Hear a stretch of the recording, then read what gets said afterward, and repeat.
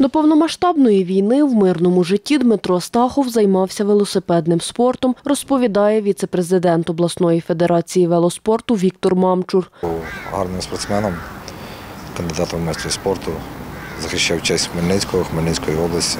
До труни Дмитра в ритуальній службі сходяться попрощатись побратими з 86-го стрілецького батальйону тероборони, який формували у Хмельницькому. Тут він ніс свою службу з початку повномасштабної війни до загибелі на Донецькому напрямку, розповідає його побратим під позивним Глюк. Перших днів ми пішли в тер- в тероборону, з ним разом в воєнкоматі ми зустрілися і разом вирушили подальше вже е, служити.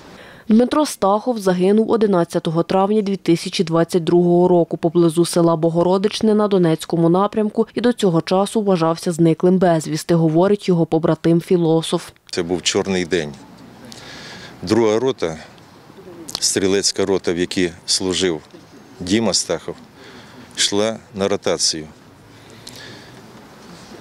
І під селом Богородичне Краматорського району Донецької області, там є такий Шервудський ліс. Вона потрапила в засідку. Там їх чекала диверсійна розвідувальна група рашистів. Хлопці на ходу прийняли бій. Мужньо захищалися, але сили були нерівні.